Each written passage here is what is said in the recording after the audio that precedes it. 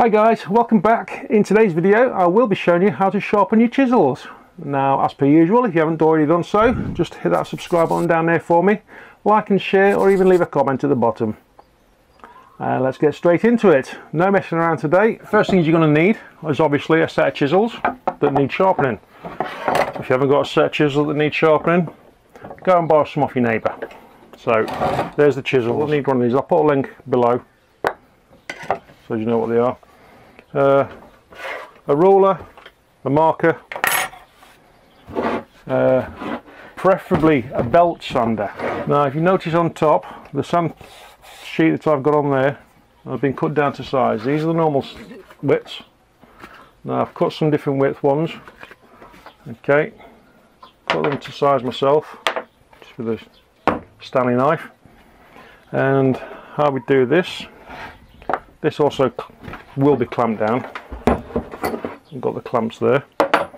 Now what we'll do, we'll do the middle one first so I haven't got to shape, change that over.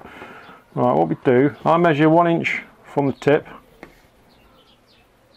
leave a mark, see that?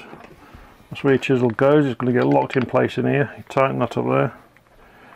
Make sure your mark is near enough to the end. Make sure your chisel is square and straight in there, so that's ready. Now, I'll just not turn it on just yet. When this is all set up and turned on, they fit either side of the sandpaper like that. And then there we go like that. I haven't got a cameraman so I'll just reset everything up and I'll get back into doing it for you. Earmuffs protective goggles. Stick them on you've got uh, a little tub of water because this will get hot so I have to keep cooling it down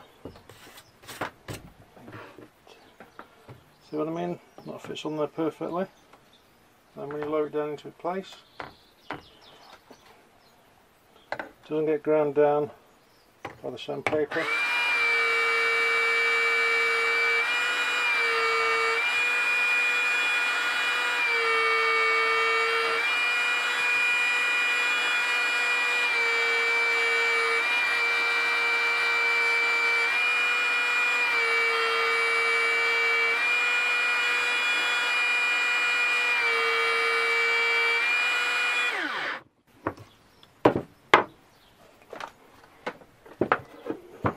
Okay, this one had uh, little nicks out of the end of it, but we've kept going till those nicks have gone. Now I've still got it's like foil, like a, like uh, kitchen foil, just on the tip there. And we need to get rid of that next. But the majority of the work's done there. Okay, we've got goggles on, apron on, and some white buffing compound. I like to polish the rest of the chisel as well, just to get it nice and clean. But uh, yeah, we're going to get that little bit of foil off the end, the foil type thing, just to finish it off. Okay.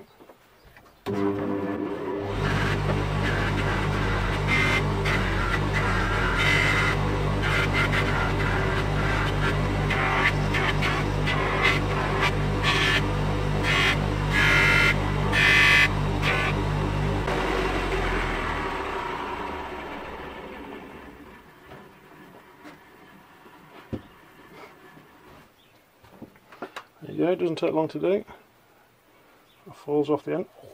It falls off the end. It's a bit warm. That is nice and shiny. And as with the other one, razor sharp.